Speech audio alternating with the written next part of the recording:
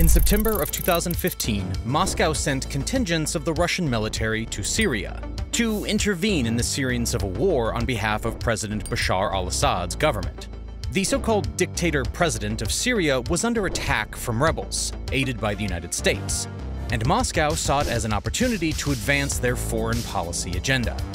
What followed were brutal years of war, with brutal consequences that shaped the Middle East in ways that we are still yet to fully understand. Much like Ukraine, the United States and the West supported one side, and Russia supported the other. Russian airstrikes over Syria, a new round tonight. Now, tonight. the latest on the crisis in Syria. As U.S. troops continue to pull back, Russia is moving in. It's been a game changing couple of weeks in international relations over Syria. So many questions arise in this conflict. Why did Russia intervene in Syria? Why was Syria undergoing a civil war? And what has Moscow stood to benefit from its involvement in the Middle East? Maybe even most importantly, how were Moscow's actions back then crucial to its current war with Ukraine? These are all questions that I'll answer in this video as we explore Russia's brutal attack on Syria. As we get into the subject, please take a moment to hit like on this video. Your likes help me a lot as they offset the suppression that topics like this get from the YouTube algorithm. These war and political topics, however, are crucial topics that I know you want to learn more about, so your likes will help validate all the effort that goes into making these videos. Okay, now back to the basics. To understand this story better, we have to start not in Syria, but in Tunisia, where one lone boy and his wheelbarrow of fresh vegetables were the dominoes that changed the entire Middle Eastern landscape. You see, on December 17, 2010, a young Tunisian boy named Mohamed Bouazizi, who sold vegetables from a barrel, set himself afire to protest against police harassment. At that time, there was unrest in Tunisia, and in the absence of a good judicial system, general police harassment had escalated, as it often does. Although Mohammed met his death on January 4th, less than a month later, his actions echoed. The conviction and the pain that so many felt but had never been able to verbalize was carried through his actions. And that sparked the embers of a revolt across Tunisia. The riots and protests that were started in his name grew so explosively that in just under two weeks, Tunisia's authoritarian president, Zine El Abidine Ben Ali, had fled the nation. He abdicated to Saudi Arabia, abandoning a 23 year old reign over the nation. Ben Ali's actions led him to become the first leader of an Arab nation to be pushed out by popular protests. But due to the wave of fire that he had just started, he would not be the last. As other citizens of countries that were oppressed by dictators realized that it was possible to not be subjected to the harsh realtors of pain and poverty, a wave of defiance began to spread. That very month, Egyptians started protesting in the capital city of Cairo in numbers, and they had only one demand. The 30 year old dictator leader, President Hosni Mubarak, had to go. And sure enough, as the protest intensified, Mubarak was left with no choice but to resign and step down. This was barely two weeks since his citizens had taken to the street. Egypt's dictatorial collapse empowered the movement that then spilled over to Bahrain and Libya. In these two countries, particularly Libya, things took a very violent and dark twist, and the riots turned into a full civil war. While we're still on the subject, Libya's case was as well, for lack of a better word, interesting. I can make a whole video on the collapse of Gaddafi's Libya and American involvement in the matter. Just let me know in the comment section below if that's something that you'd be interested, and I will deliver. But moving on. Libya's saga also ended with the death of Gaddafi on October 20th, 2011. The rebels had won and defeated the national troops and president. This marked an unprecedented move that showed that with enough support, in direct conflict, a government could lose a war to rebel groups. This is where our story takes us to Syria. Syria, much like many Middle Eastern nations, was in the same position. President Bashar al Assad had been the nation's ruler since 2000. What made his case even more tragic is that he had succeeded his father, Hafez al Assad, who himself had ruled Syria since 1971. It was a family dynasty of sorts, and unfortunately, it was not a well liked one.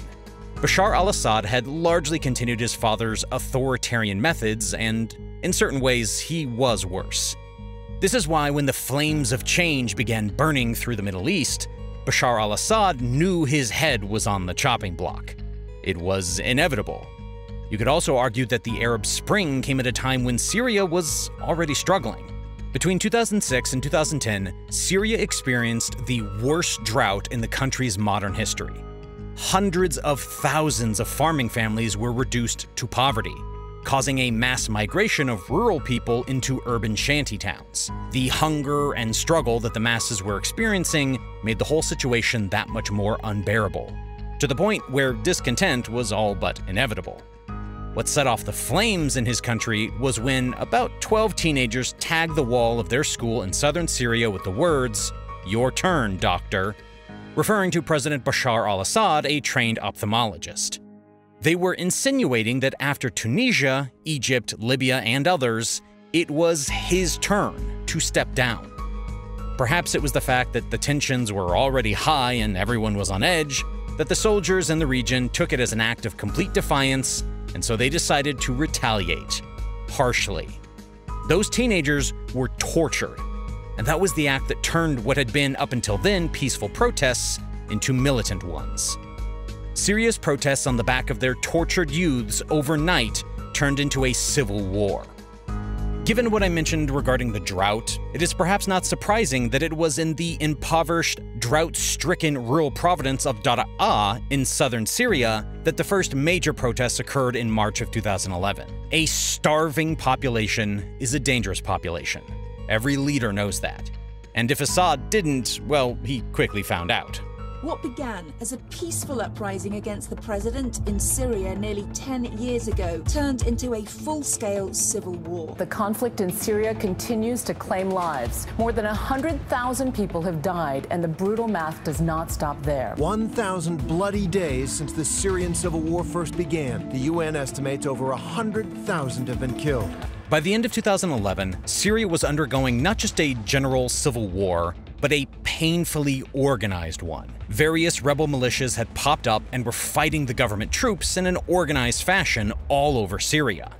One of the key forces of the resistance was the Free Syrian Army. This was a rebel militia that was made up of defectors from the Syrian army. For a while, they were the main face of the resistance, as they launched assault after assault on the government troops along with other resistance groups. Surprisingly, or maybe unsurprisingly, kind of depending on which side of the fence you were on, these rebel groups were doing very well. They pushed the government forces back to the point where they were forced to withdraw from key positions, thereby allowing the rebels to gain territory in key areas. The rebels even launched an offensive on Aleppo, Syria's largest city, allowing them to have a significant foothold in the eastern part of the city. The Syrian civil war continued in this fashion into 2013. But this is when both sides started to strain under the pressures of war. On one hand, the rebel militias were severely undersupplied, and with no access to weapons and funding, they were starting to lose a hold on the sectors they had previously won. On the other hand, the government forces were suffering from massive defections, the hardest people to fight against are your own people, especially when they are making good points, and this logic is what resulted in a lot of soldiers deserting the army to join the opposition, and this weakened Syria's forces. This scenario, where the two sides were almost desperate for a boost, allowed those in the international community, who up until that point had been all talk, to take part. This is where Russia and the rest come in. Just give it a second. You see, nations like Turkey, Saudi Arabia, and Qatar were very anti Assad, and the idea of his dictatorship flourishing in the Middle East wasn't in their best interests. In this regard, they started to fund and arm rebel troops in the hope that the rebels would emerge as the victors of the Syrian war. The scenario was made even worse when the Syrian government was suspected of having used chemical weapon attacks in the suburbs of Damascus, an attack that killed hundreds of citizens. The Syrian opposition accused pro-Assad forces of having carried out the attacks, while the Assad regime vehemently denied them. Regardless of that, it allowed many nations to band together against Syria. The United States was at the top of that list. Up until then, the US had been a very vocal critic of Assad's government, and suddenly also had an opportunity to intervene. The US started a program where they would train and equip a few rebel groups, enabling them to be more of a threat to government troops. With them receiving proper funding from Turkey, Saudi Arabia, and Qatar, while also receiving military training from the US, Syria's civil war started to look in favor of the rebels. Bashar was on the ropes, and with things turning dark for him, he started to look for friends too. This friend came in the form of Russia. Russia and Syria had long since shared ties since the days of the Soviet Union. In those times, the Soviet Union was supplying Syria with aid and arms in a bid to increase its influence in the Middle East. However, when the Soviet Union fell, so too did its influence in Syria. When Putin became president of Russia in 2000, it was the same year that Bashar al Assad took over from his father as well. As Vladimir Putin began his ambitious expansion of Russian military and Russian influence, the relationship between Russia and Syria started getting rekindled. So, in 2015, when Putin received a formal request from Bashar to assist, it was a perfect opportunity. Russia saw that by getting involved, they could benefit in two ways. On one hand, they could benefit from having Syria's government indebted to them. This would allow for an upper hand in various dealings, as we will soon see in a couple of minutes. On the other hand, the conflict provided Russia with a platform to be able to test out the capabilities of its newly expanded military. The fact that the US was training the enemies of Russia was an even better advantage because Russia could compare its capabilities to its biggest rival and learn from them. In short, Syria became a proxy war for Russia, Iran, the United States, and several other countries. With all this going for it, Russia began to take a more active role in the conflict. Pentagon says that Russian fighter jets have now arrived in Syria. A few days also show Russian helicopters, transport aircraft, tanks, and armored personnel carriers. We are getting new information into the newsroom that Russia has just launched a round of airstrikes against ISIS in Syria. Moscow deployed troops and military equipment to an airbase near Latakia, and they launched an offensive from there. As Russia began raining hellfire on various targets in Syria, the message was that Russia was targeting ISIL and ISIS terrorists that had emerged in the region. Of course, this was a facade, and soon it was revealed that Russia was mostly bombing rebels fighting against Assad as they lent help to their ally. This moved the West to fund the rebels even more, with the US and Britain having parliamentary debates on whether or not they themselves should put boots on the ground. Despite the heavy opposition, Russia did not back down and it continued to support its ally with weaponry, soldiers, and funding. Russia was determined to win this proxy war, and together with Iran, which was also funding and equipping the Syrian government, it became increasingly possible that they were going to. What made the Russian involvement very scary is that the Russians, along with the Syrian government forces, did not attempt at all to avoid causing civilian casualties. If anything had a chance to subdue the rebels, then it was a go. Of course, for Russia, the implication was much less, because these weren't their people. But for Bashar, it only made him even more hated, with the West accusing him of crimes against humanity, against his own people. In their bombing campaigns, Russian and Syrian warplanes dropped indiscriminate munitions, such as cluster bombs and incendiary bombs, and targeted medical facilities, search and rescue teams, and aid workers. Those actions were condemned by human rights groups, but they continued unabated until the rebels in Aleppo collapsed. It was an effective strategy, but an inhumane one, as thousands of innocent people lost their lives. But that's the thing with power, isn't it? Once you have a taste of it, you would do anything to never relinquish it. This, I assume, was the thinking behind Bashar's drastic actions. Once Russia liberated Aleppo for Bashar, it was victory after victory from there. The rebel forces, overwhelmed by Russian, Iranian, and Syrian forces, started to retreat. This led to a new axis between Russia, Iran, and Turkey, seeking to resolve the Syrian crisis while excluding the West and Arab powers. While the US was hesitant to overstep again to avoid another Iraq incident, Russia had jumped at the opportunity, and now Putin had the opportunity to control not just the narrative, but the entire dynamic of the Middle East. It's crucial to realize that this is one of the many benefits that Russia got from intervening in Syria and fighting there. By being virtually an unstoppable force of nature on the battleground, Russia gave the rebels no choice but to come to the negotiation table. The West, having seen that the Bashar al Assad regime was starting to win, now started abandoning the very rebels they had once funded and trained, leaving them to the mercy of elite Russian and Iranian soldiers who hunted them for sport.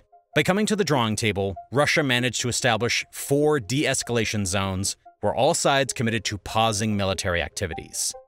This one action removed the burden of fighting on multiple fronts and allowed Syrian government forces, along with their Russian and Iranian allies, to take over one opposition held area after the other. These actions firmly secured the regime of Bashar in place, and unlike what had happened in the other nations, the Arab Spring never got its goal in Syria.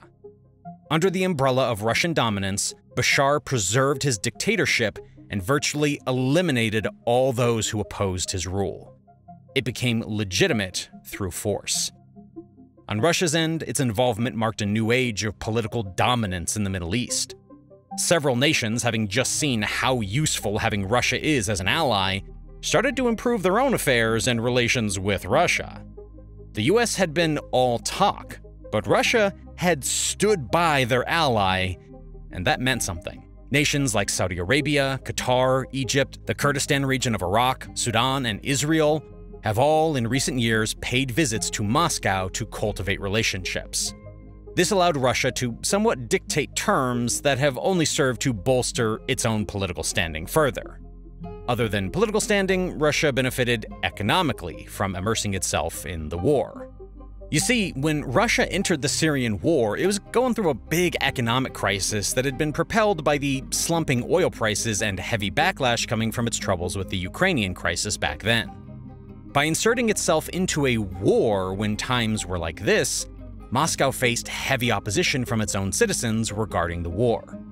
This was something that Moscow quickly proved wrong, as in the years they were in the Syrian conflict, Russia's defense budget dropped from 5.5% of its GDP, which equated to $79 billion in 2016, to 3.7%, which equated to 61.4 billion in 2018. This then alleviated the fears of overspending on the military, allowing Russia to invest in the war with little opposition on the domestic front.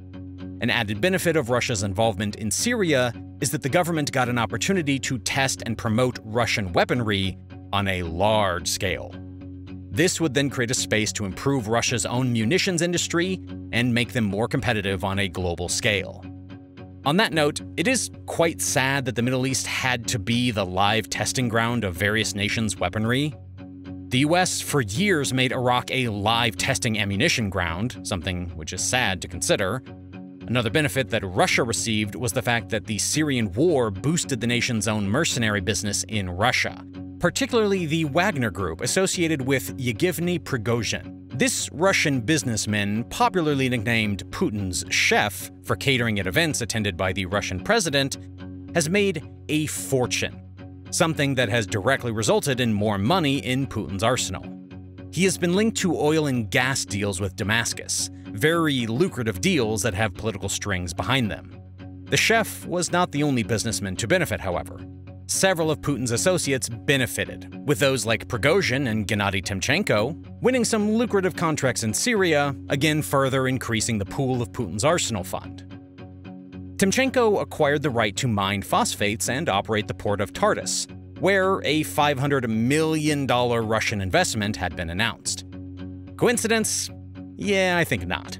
And as I mentioned before about other Middle Eastern countries coming to be within Russia's influence in recent years, Russia has signed investment pledges and deals worth billions of dollars with them.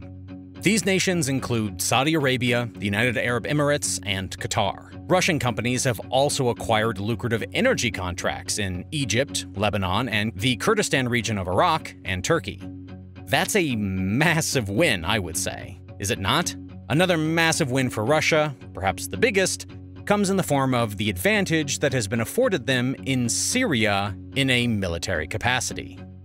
Russia says it has installed an S-300 missile system at its naval base in the Syrian port city of Tartus. It has been building up its naval presence near Syria in an effort to keep Western allies out of Syria's bloody civil war. Due to its involvement in the Syrian war in support of Bashar's regime, the president of Syria granted Russia use of the naval facility in Tartus. This port was granted to Russia free of charge for 49 years, and it gives the Kremlin sovereign jurisdiction over the base. That means, for all intents and purposes, that base is Russian soil. The Tartus base allows the Russian Navy to avoid dispatching ships to naval installations in the Black Sea for maintenance, as it now has its own facility on a much better route. That reduces Russia's reliance on the West and their allies, something that Putin greatly appreciated. The agreement, which is heavily skewed in Russia's favor, allows Russia to keep a dozen warships, including nuclear powered vessels, at Tartus, making it a well equipped and critical military installation. One that so happens to be the only naval facility the Kremlin possesses outside of the former Soviet Union. Combined with the Hmeimim air base, which Russia has been using as a base for its air raids in Syria, Russia has a solid military foot in the region. Military assets like them are top shelf prizes for Russia. Russia's presence in Syria, unlike expected, has not dwindled to zero. What we have to date is the knowledge that Russian troops remain in Syria still. The involvement in the war has been significantly reduced as Bashar's government has the reins now, but Russia remains located in the nation. The friends Russia made in Syria and Iran, specifically, have become Russia's top backers in its current war with Ukraine. Since mid 2022, Iran has become Russia's top military backer. Iran's decision to aid Russia in the war on Ukraine reflected the expanding strategic alliance with Moscow. One that can go on and on given how both countries have similar military objectives. Since August, Iran has provided Russia with hundreds of drones, including the Shahed 136 suicide drone and the Mohajer 6 reconnaissance and strike drone. Iran has also shipped artillery and tank rounds, as well as including some 300,000 artillery shells and 1 million rounds of ammunition via the Caspian Sea. All this has been weaponry that has advanced Russia's agenda in the war, and with Iran continually backing the Kremlin, the war just keeps dragging on longer and longer. Iran has long sought to modernize its military, and on the back of its partnership with Russia, it's finally doing so. It is said that Russia has been offering Iran unprecedented defense cooperation, including on missiles, electronics, and air defense as part of their partnership. Lately, it was reported that Iran could potentially have Russian fighter jets, attack helicopters, radar, and combat trainer aircraft worth billions of dollars, something that threatens geopolitical peace in the Middle East. What we are left with at the end of the day is a military nation called Russia that is advancing its own agenda under the guidance of Putin. The damage we see now in Ukraine is part of the behavior that started long ago. One can wonder if Syria was a practice ground, or if the drills are currently being run in Ukraine. I suppose we'll never know. What remains to be seen is how the government of Bashar will continue cooperating with the Kremlin. And if so, what will come out of this partnership? If you missed the news related to Russian involvement in the Syrian war, that's probably because legacy media companies are not good at covering geopolitical news. And that's why I launched Global Recaps, a geopolitics newsletter that sends important world news directly to your inbox five times a week. Best of all, it's completely free, and you can sign up now by clicking on the link in the description.